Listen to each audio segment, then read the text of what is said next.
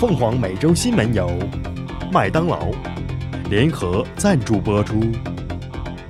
驾驶全新时尚 Corolla，探索新道路。您的南加州 Toyota 经销商。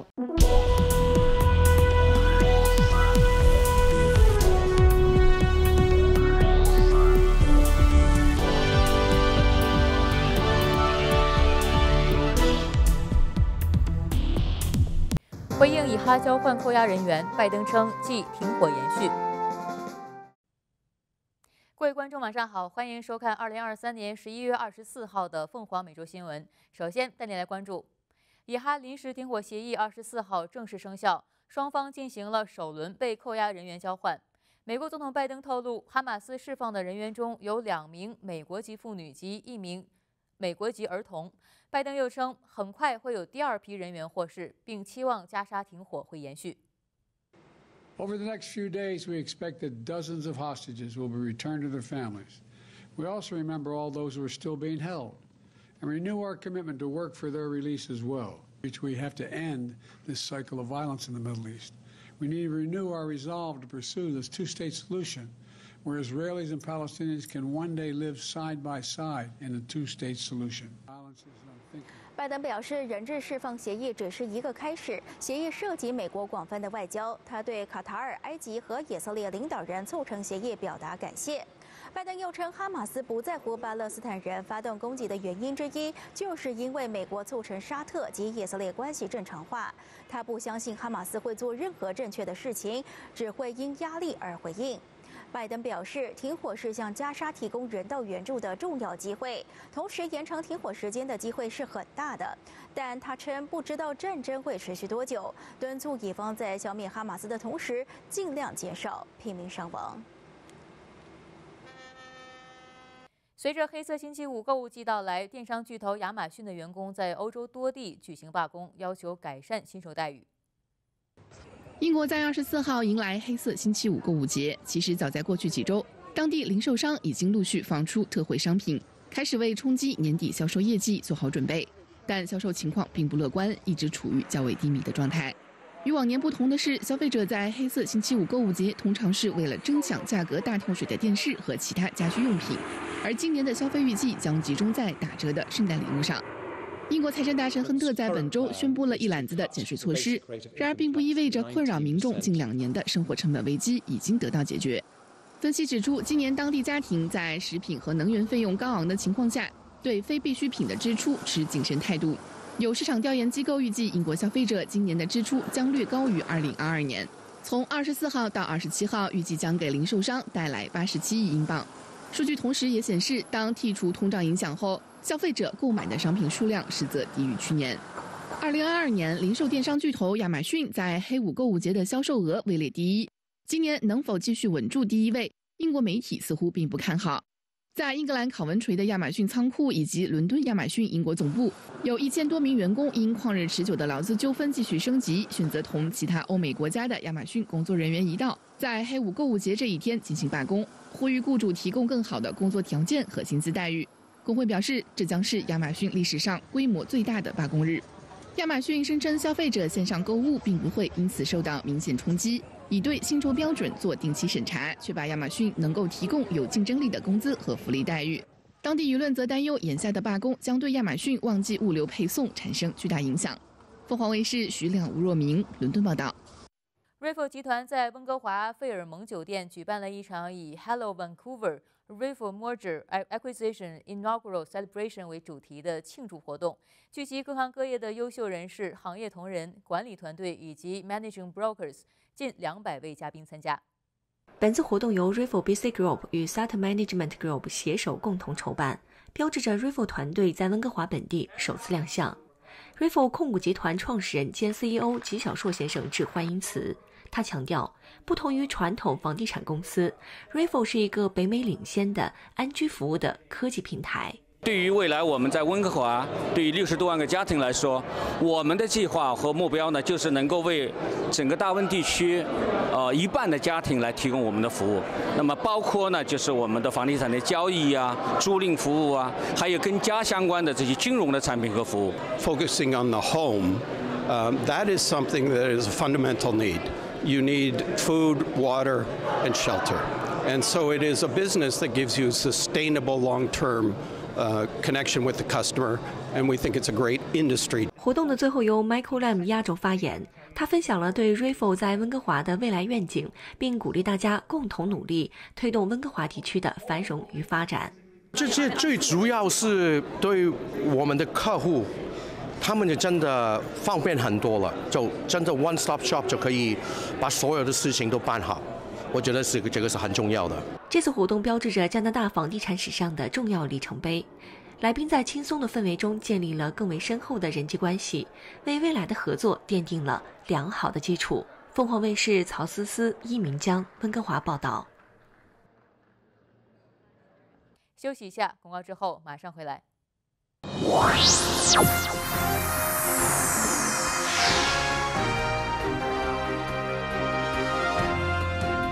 迎回来，一起来看今天美洲地区简讯内容。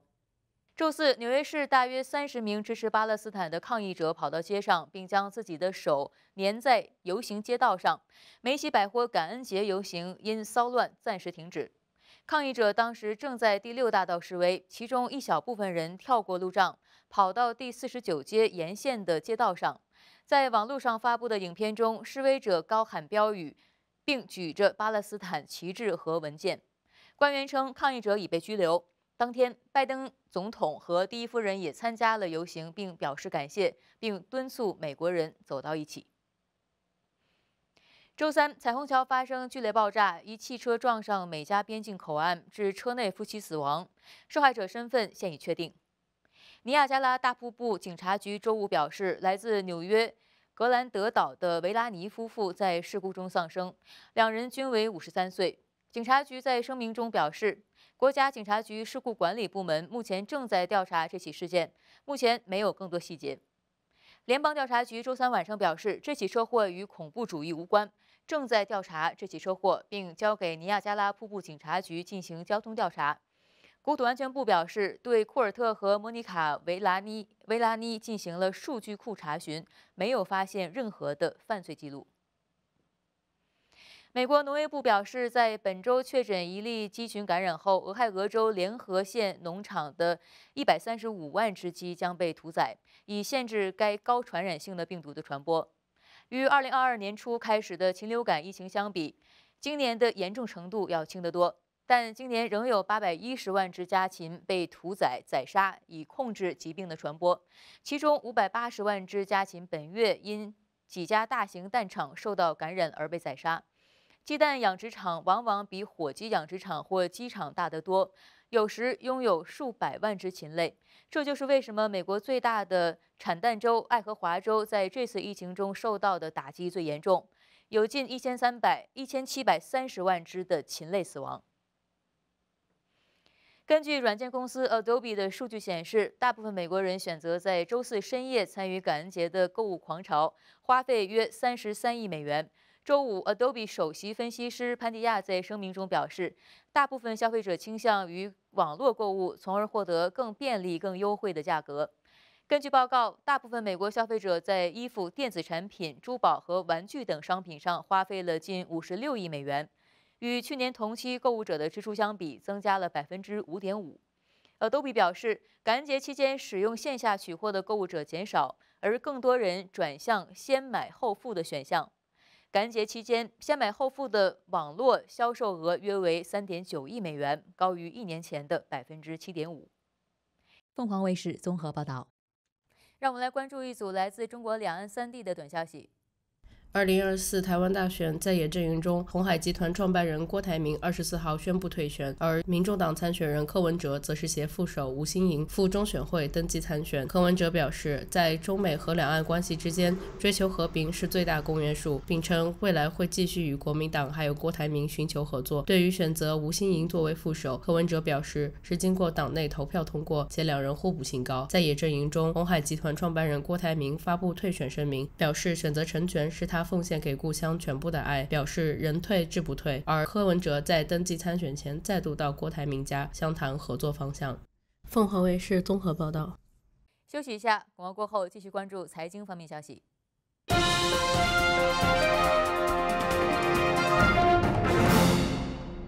欢迎回来。美股周五涨跌互现，因应感恩节假期，股市提前三小时收盘，交投清淡。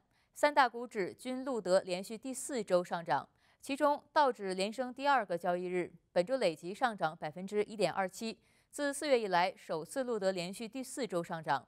市场关注零售商的节假日表现、销售表现。继续关注全球财经指数。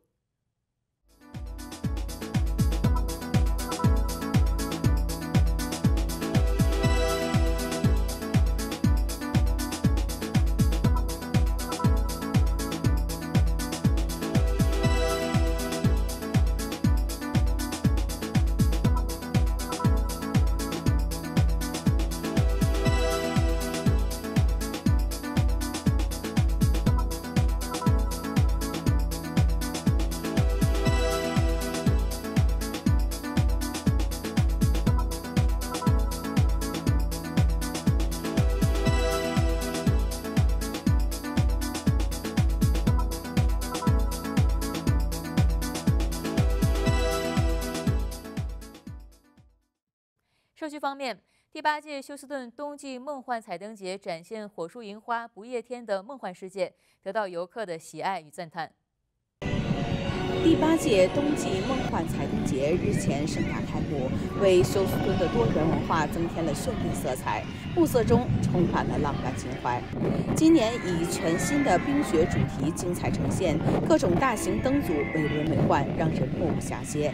在设计上展示了中国传统彩灯文化和现代先进技术的完美结合，给游客带来连连惊喜。冰雪王国、儿童天地、星际探索、丛林秘境四大主题区的一百多个独立的灯组，通过富有创意的浮雕、半浮雕、3D 实景等不同的光雕组合，展现火树银花不夜天的梦幻世界，得到游客的喜爱与赞叹。中国非物质文化遗产在现场表演及售卖，为彩灯节锦上添花。独具特色的石刻、刺绣、木画及工艺精湛的礼上刻字、棉花糖现场制作、手工饰品等，让游客感受到中国传统文化的魅力。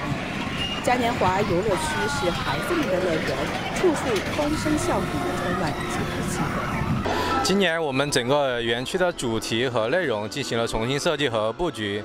然后对每个灯区的主题进行了内容的丰富和创意的升级，就是把我们的中国的传统文化呢发扬到海外来，受到海外朋友的呃热烈的欢迎和喜爱。彩灯节里的小动物都非常可爱，嗯，跟朋友来很开心。我们非常喜欢彩灯节。That we can see the Chinese culture and share different things. It's so cool to see all the different places. 今年展场迁到 KT Mills，展期为五十二天，横跨感恩节、圣诞节和新年三个重大节日，给各族裔家庭和亲友带来结伴相游、赏灯欢聚的美好时光。特约记者华夏名为休斯顿报道。感恩节当天，美国华人妇女联合会近四十位会员在洛杉矶为华裔自闭症儿童及家庭庆祝感恩佳节。在富兰克林基金会的召集下，本次活动有将近一百五十人、五十多个自闭症家庭参加。美国华人妇女联合会特别定制了六只火鸡和各种丰盛的菜肴。燕天下的负责人 Emily 中和中美物流集团也为孩子们准备了美食和点心。他们表示，这群特殊的孩子更需要社会的关爱和帮助。执行总会长张平和执行会长张慧玲专门为孩子们准备了毛绒玩具和妈妈们用的女士手包。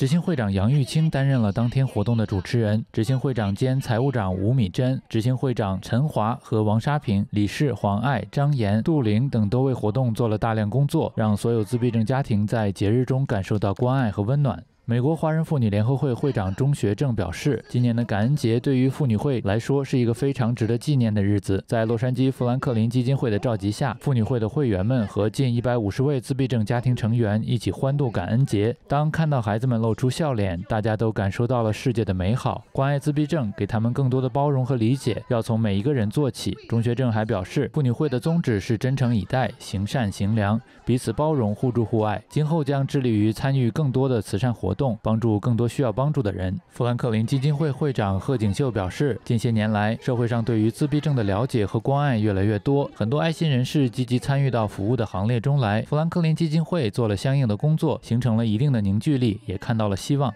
这次感恩节庆祝活动，孩子们表演了十四个节目，有唱歌、魔术、舞蹈、乐器演奏等。其中百分之九十的节目都是由自闭症孩子演出。最后，中国广场舞王子王广成老师带领大家跳健身舞，把活动推向高潮。凤凰卫视田野洛杉矶报道。接下来是未来二十四小时的天气情况。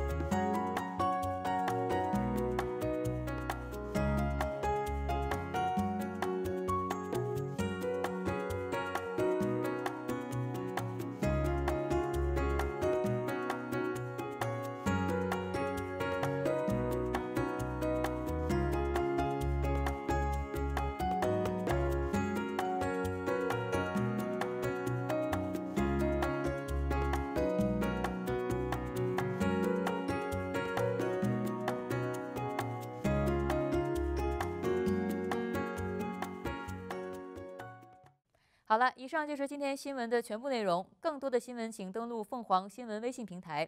感谢您的收看，祝您晚安。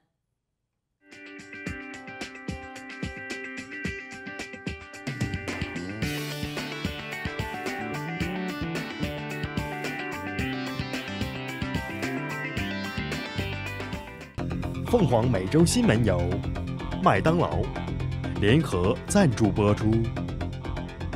强大的全新 Highlander 助力您的冒险升级。您的南加州 Toyota 经销商。